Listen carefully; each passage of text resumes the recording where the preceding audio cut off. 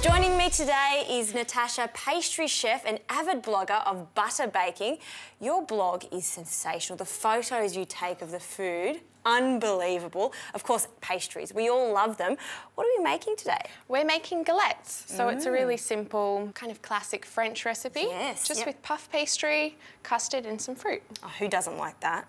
We all love that. So what do we start with? with so we're going to start with pastry cream. Mm -hmm. So I've got some milk, mm -hmm. and we'll just pop that on the heat. And yes. I'm going to put a vanilla bean in that. Can you pass me For that? You. Thank you.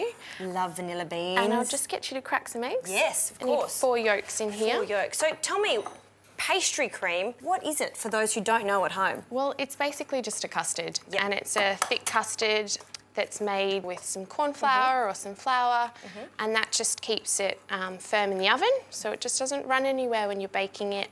So the milk is already scalded so I'm going to take that off the heat mm -hmm. and just in this little bowl here we've got um, some corn flour and some caster sugar that I've just whisked together and what that does is it stops the corn flour from clumping when you add it into your yolks. Aha, good little trick. So we'll just add it, maybe I'll get you to whisk and I'll add it. I can, yes.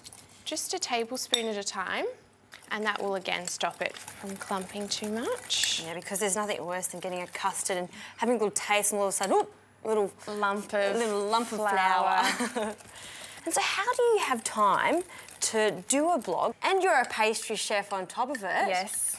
How do you manage to do all that? Um, I don't know, you just have to find the time. I'm lucky though, being a pastry chef, you start early in the morning, but you finish a little bit earlier as well. So I've got afternoons free where I can do things like that. So that's when you're on your computer. that's the trick. so I might that. whisk that and I'll get you to pour the milk in. Yes, absolutely.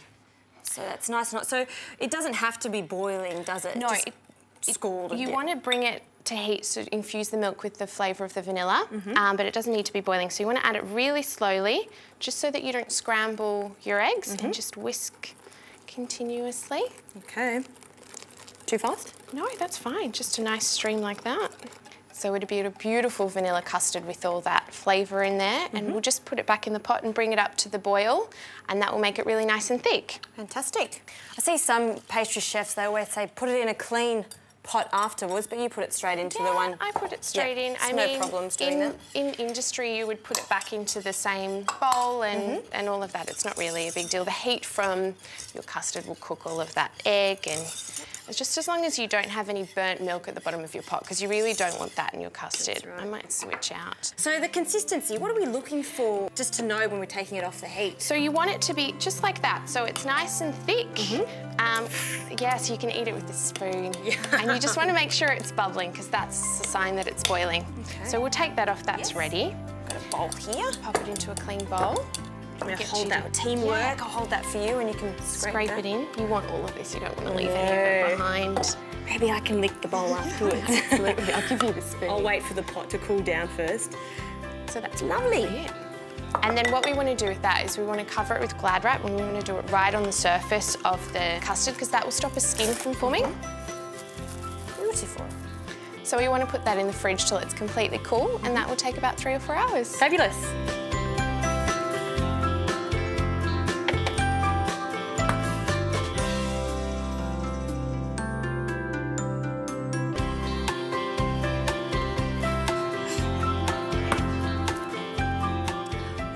Right, so this has chilled quite nicely. It's firmed up.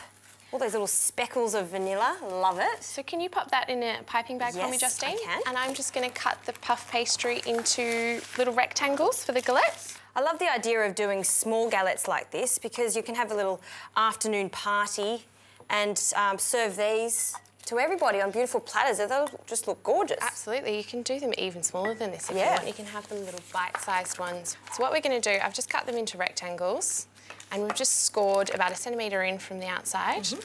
and that will let the, the border sort of puff up and will fill the centre. Yum. So we'll pop these straight on the baking tray. So I might get you, once you finish that, just to make an egg wash for me as well. Sure thing. And we'll brush that on the edges of the galettes just to make them nice and shiny. Beautiful. So just one egg. Maybe I can give you a hand doing some fruit. Some fruit, so yes. We're just going to top them with berries today. So I'll just get you maybe to cut up the strawberries mm -hmm. in halves or quarters, whatever you like. And this is one of those recipes that it can change during the seasons. Yeah. If berries are fantastic, then put berries on this, or in winter. I mean, do you do this in winter too? Yes. I do it with the caramel apples in winter. You can do it with um, frangipane or almond cream and top it with figs. So while Justine's doing that, I might pop the pastry cream on the galettes. Mm-hmm. So you just want it inside that rectangle that you've scored. So just a nice thin layer. And then we'll top that with the berries and they'll go straight in the oven. So that's really nice and easy. And you can have all this ready. If you've got puff pastry in the freezer, you can make a custard the day before. And then just on the morning of your party, you can just put them together, which is great. I love lovely. the fruit. So just arrange the fruit. We can do mixed berry ones, mm-hmm. Well, we've got other berries, here. We might as as well. well. Mix them together. Wow, look at that. Looks like it's come straight out of the shop. So these will just go in the oven for 15 to 20 minutes at 190 degrees, and you just want them to be nice and puffed and golden. And then we'll just take them out and let them cool down a little bit before we dig in. We'll definitely be digging in.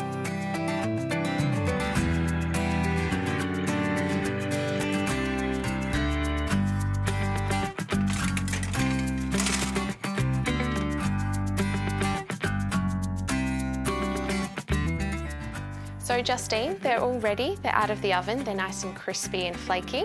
And I've just dusted these ones with icing sugar, but you can also just drizzle them with honey. And what that does, it makes it look like they've got dewdrops. does, doesn't it? Yeah, it's beautiful. It smells brilliant. All those berries. Maybe we should share one? Sounds good. Okay, I will cut that in half. Look at all that juice. Wow, exactly. Those little pockets of juice in there. Oh, oh, that is just scrumptious. All right, Let's have a mm. Mm. the berries are nice and tart, which makes the honey work really well with them. Exactly. And that really delicious cream inside it, crunchy pastry. This is one of those things, Natasha, that is going to be so popular because it's easy. And look at them, how beautiful.